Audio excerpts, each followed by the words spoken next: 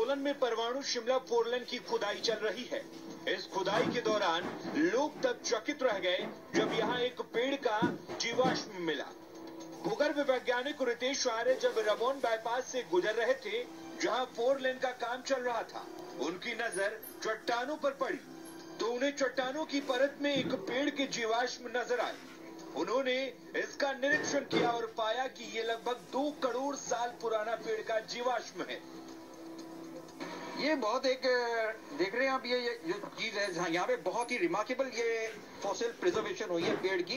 ये कम से कम एक मीटर के करीब तो इसकी डायमीटर है और दस फुट से ज़्यादा। यहाँ पे इसकी हमारे को प्रिजर्व लेंथ नज़र आ रही है। भूगर्भ वैज्ञानिक की माने तो ये किसी दो करोड़ साल पहले पृथ्वी पर पाए जाने वाले पेड़ का जीवाश्म है। उन्होंने बताया कि ये पेड़ आज नहीं पाया जाता, लेकिन दो करोड़ साल पहले उसका अस्तित्व था। उन्होंने कहा कि इस जीवाश्म के अध्ययन से हम दो करोड़ साल पहले पाए जाने वाले वनस्पतियों के बारे में जान पाएँगे। साथ ही हमें दो करोड़ साल पहले की वनस्पतियों के विकास की जानकारी भी मिलेगी।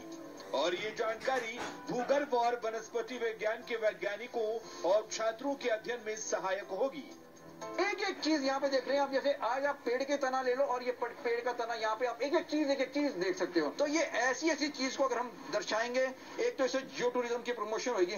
कोई भी बंदा यहाँ पे आता है, क्या देखेगा तो वो भी एक दो करोड़ साल पुराना पत्थर ज़रूर देखना चाहेगा। रितेश का मानना है कि सरकार को दो करोड़ साल पुराने जीवाश्म को संरक्षित करने की तरफ़ पहल करना चाहिए। और ये जीवाश्म यहाँ पर्यटन को बढ़ाने में मदद करेगा।